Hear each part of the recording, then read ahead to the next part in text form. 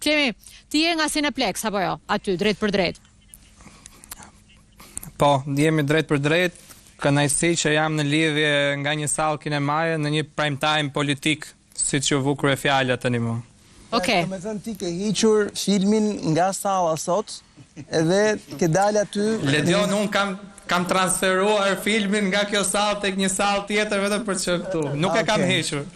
Jo, nëse ke hiqur atë të Scorsese shumë mirë, po mos hiq tonin të paktën, se duhet t'kapim këto rekordet e Ermalit edhe nuk ja dalim dot kështu, e kupton? Keni punën tonë. Kemi nëntorin, dhjetorin para.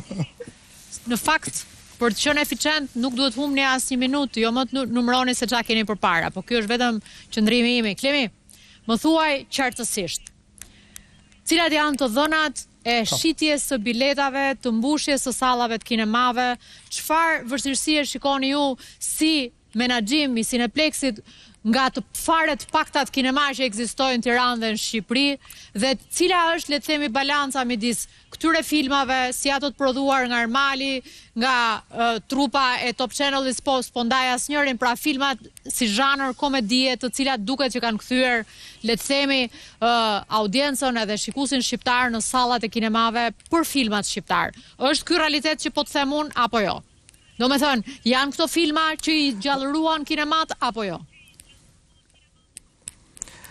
Ato shifra që Ermali tha janë të vërteta, Unë do e quaja kinemanë para dhe pas filmave të Ermalit për sa i përket filmave shqiptarë. Mhm.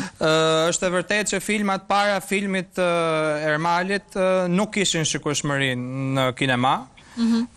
Sallat e kinemas ishin me shumë pak vizitorë. Ndoshta ishte mënyra se si shkonin, ndoshta ishte tek mospëlqimi për filmat, por fakti është që sallat ishin thuajse bosh. Ermali solli një trend të ri në industri për Shqipërinë, por që është një trend i njohur në botë, në Italinë që ne kemi afër, filma komikë të bërë nga persona që publiku i do. Për mua kjo është çelësi i suksesit, si të Ermalit, si të Në kuadër të dashurisë. Ne nuk kemi asnjë vështirësi në menaxhim, si nga ana operacionale dhe nga marketingu.